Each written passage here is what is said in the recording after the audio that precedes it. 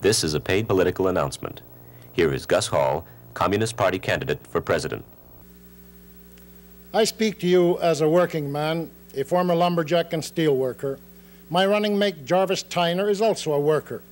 We are the only presidential candidates who know what it means to work for a living, to feel the lash of speed up, the fear of layoff, and the agonizing frustration of trying to stretch the paycheck to make things meet.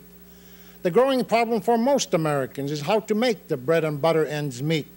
Taxes keep rising, food costs, education and rents are zooming beyond the reach of millions of our citizens. Jobs are not available. The overall trend in our land is for the already fabulously rich to get even richer, and the already poor to get even poorer. The system of taxation has always favored the rich, but with each year it becomes even more so. 40% of workers' wages now goes for paying taxes, while last year 37% of all corporations paid no taxes at all.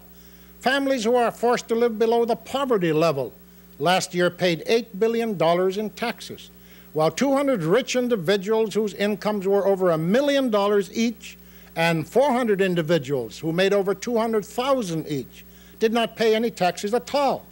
There are no tax loopholes for the people, but the rich individuals and the big corporations in 1971 stole over $100 billion by way of tax loopholes.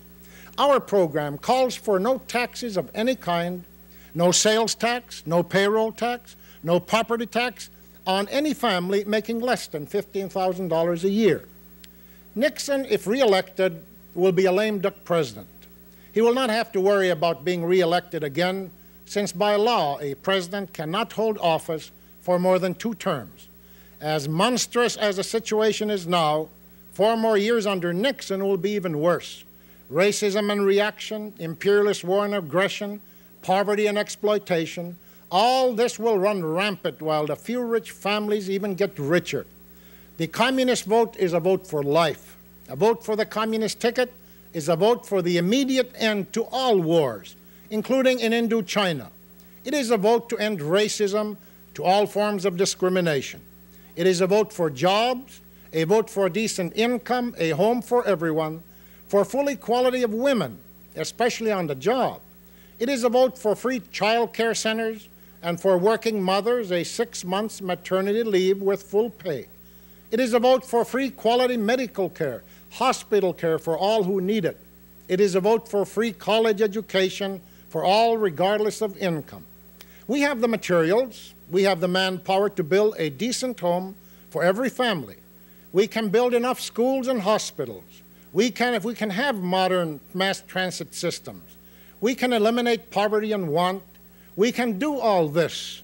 We can provide these services only if we eliminate corporate profits as the kingpin on the list of priorities. Both the Republican and Democratic parties serve the drive of big business for profits. The Communist Party provides the alternative, shifting our priorities from warfare to people's needs. Ours is the most forthright, radical program for ending wars and turning the country back to the people.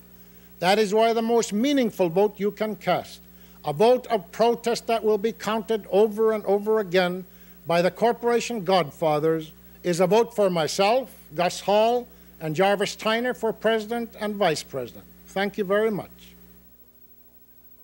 This recording was paid for by the Hall Tyner Campaign Committee, 23 West 26th Street, New York City, New York, 10010.